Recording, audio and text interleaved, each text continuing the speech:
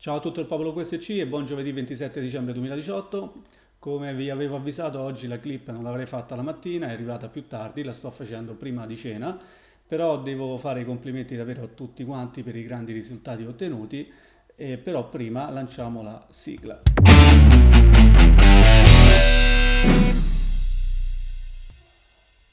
Allora, iniziamo prima di tutto con il fare complimenti al popolo QSC perché ieri sono stati azzeccati 31 pronostici su 32, media del 97%. Quando vedo questi numeri naturalmente mi commuovo perché è tutto frutto di un lavoro quotidiano che sto facendo con voi da diversi anni. In particolare sapete che dopo che per tanti anni ho fornito io i pronostici in prima persona con l'alias di admin, il famoso admin QSC, negli ultimi due anni, due anni e mezzo circa, sto cercando di stimolare gli utenti a raggiungere i miei stessi risultati. E quando vedo un risultato di questo tipo, 31 pronostici vincenti su 32, quindi 32 persone differenti che seguendo il metodo hanno dato un loro pronostico e c'è stato praticamente quasi il 100%, Mm, sono veramente contentissimo. E per chi vuole raggiungere questo traguardo, adesso ha la fortuna anche di impararlo attraverso il libro Quote scommesse calcio che io consiglio di mm, acquistarlo nel formato cartaceo, quindi assicuratevi di avere il formato cartaceo. Una volta imparato il metodo all'interno del libro Quote scommesse calcio, lo step successivo è fare la richiesta di ammissione proprio a questo sito, a QSC Pronostici www.registrazione.com mm, basta andare qui su registrazione QSC c'è una procedura difficile ma è voluto eh, è difficile perché poi i risultati che si ottengono sono grandiosi eh, se fosse facile eh, i risultati magari non sarebbero questi invece attraverso una procedura che richiede del tempo perché bisogna inviare 10 pronostici e massimo un pronostico al giorno seguendo il metodo QSC, alla fine potete anche voi ottenere questi risultati. Quindi faccio ancora i complimenti a tutto il popolo QSC. Adesso voglio analizzare la partita di ieri Inter-Napoli. In parte l'avevo già fatta ieri, avevo notato una cosa e l'avevo fatta presente e in particolare avevo fatto notare che i precedenti storici erano da no gol. Però adesso analizziamo tutta quanta la scheda pronostico.it. Le probabilità di vincita sono equilibrate, quindi under. Lo stato di forma c'è un disequilibrio che va tra l'altro verso eh, il Napoli 13 contro 23 questo può essere un over 1,5 forse anche un over 2,5 però vediamo tutti quanti gli indicatori i precedenti storici, l'ho detto ieri, sono da no goal, under 3,5 e la squadra di casa ha un ritardo di tre partite, quindi poteva uscire fuori un eventuale gol della squadra di casa. Però sostanzialmente questi dati sono fortemente da no goal e da under 3,5.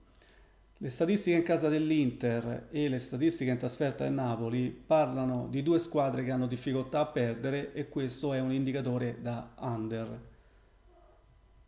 Se prendiamo le statistiche gol vediamo che abbiamo un 2.2 e un 1.4 questo può significare un over 0.5 over 1.5 over 2.5 ci può stare sostanzialmente ci possono stare questi tre casi le quote sono eh, abbastanza equilibrate e chi ha pensato a un pronostico banca X io posso dire da una parte ci poteva stare ma dall'altra vi spiego perché non mi piaceva. Ecco vediamo intanto il grafico. Il grafico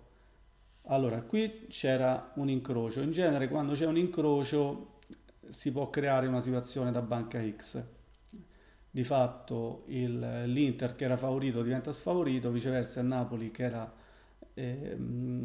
sfavorito diventa favorito, però c'è un incrocio, l'incrocio può determinare un banca X. Essendo le quote equilibrate, chi ha pensato il banca X anche in situazioni in cui ehm, abbiamo visto c'erano alcuni indicatori da over come lo stato di forma e le statistiche gol, non posso di- dire che non c'era al 100%, però la, mm, il dato, cioè il pronostico che a me piaceva di più era sicuramente una situazione da no goal o comunque più da under 3,5 se non vogliamo considerare l'under 2,5 perché? Perché se c'era questo ritardo del gol della squadra di casa ipotizzando che c'era quel gol, un under 2,5 a quel punto ci, ci, rimaneva solo un gol di, di, margine, perché se c'erano poi altri due gol l'under 2,5 non sarebbe entrato. L'under 3,5 era abbastanza solido, tra l'altro era dato alto perché era dato a 1,39, quasi 1,40,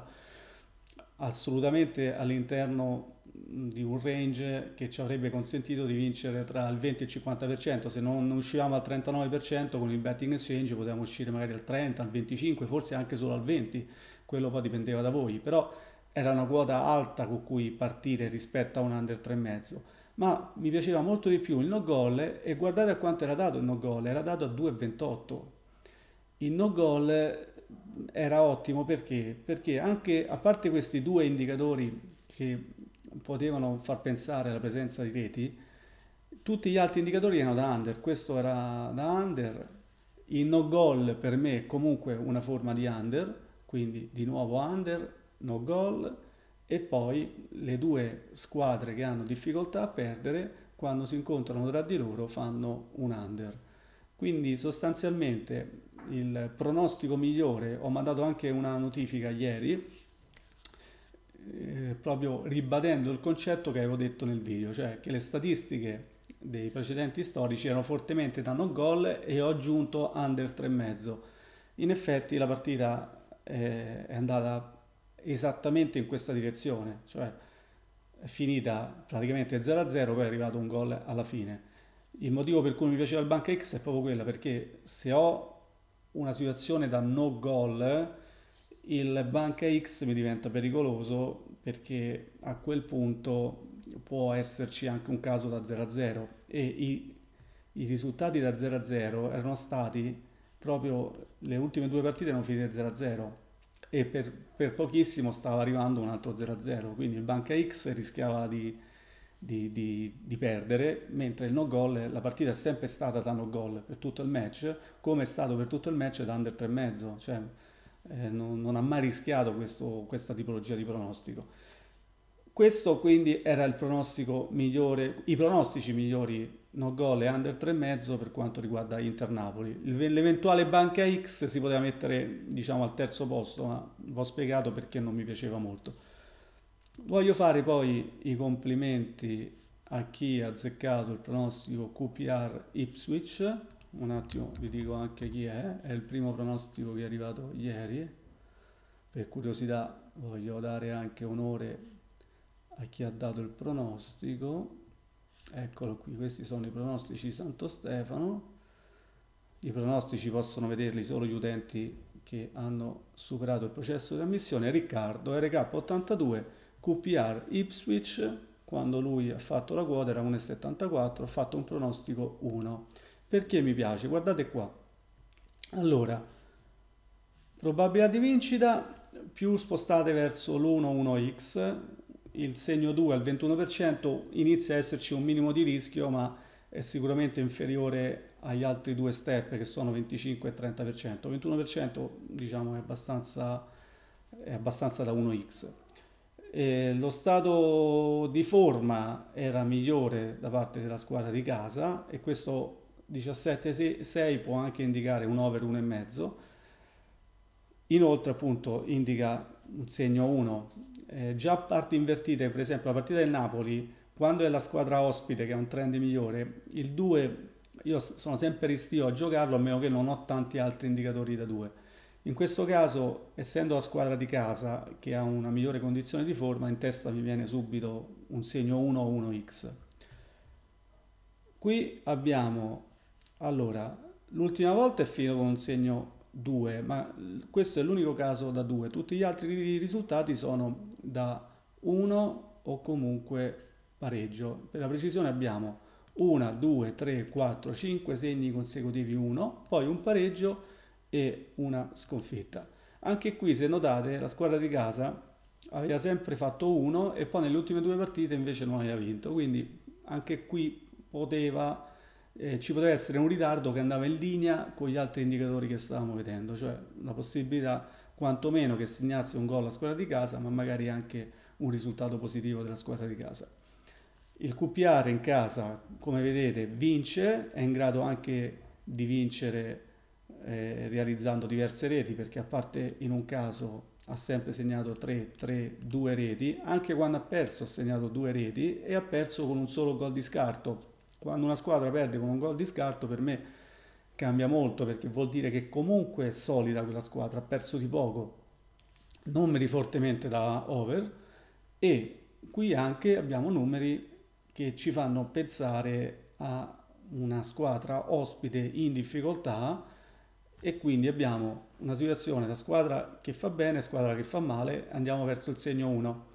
In alcune situazioni qualcuno potrebbe dire anche over, sull'over già più rischioso perché? Perché se notate l'Ipswich non riesce a segnare e all'interno del metodo descritto nel libro Quote scommesse calcio io ho spiegato proprio questo, che l'over si ha sì quando c'è una squadra che segna e una squadra che subisce, ma quella che subisce ogni tanto deve anche realizzare reti e qui invece ha fatto solo ha segnato solo in una partita su 5, solo contro il Reading o Reading. La, quindi in pratica questi 0 non vanno a favore di un over. I, I gol stanno arrivando tutti per merito dell'altra squadra, ok? Quindi questa situazione non mi piace per un over, mentre per un segno 1 va bene. Tra l'altro mi piace anche il fatto che non sono 5 sconfitte secche, perché se fossero 5 sconfitte tutte rosse magari eh, ci può essere la, la, sorpresa. Essendoci quel pareggio che ha spezzato questi rossi, il segno 1 mi sembra perfetto. Andiamo a vedere anche le, le statistiche, questo è un indicatore fortemente da over 1,5, over 2,5 e per quanto riguarda l'andamento delle quote, se vediamo, abbiamo, allora scusatemi, visualizza quote pre-match,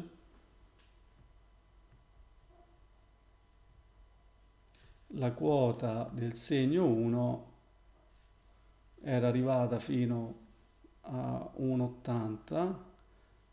e poi è scesa a 1,73 anche se se la prendiamo dall'inizio qui 1,78